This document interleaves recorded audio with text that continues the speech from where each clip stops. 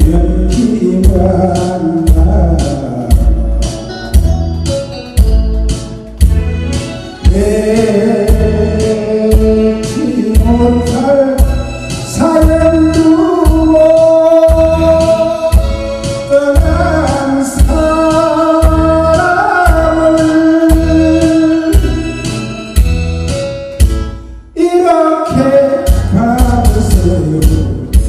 그야 잊지 못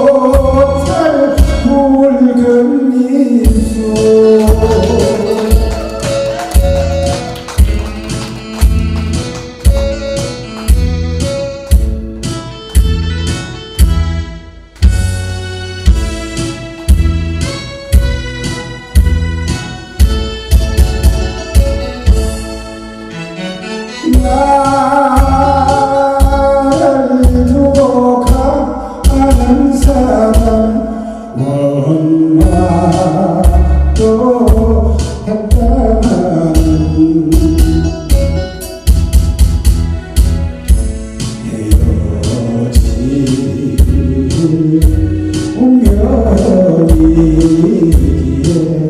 부서져 버린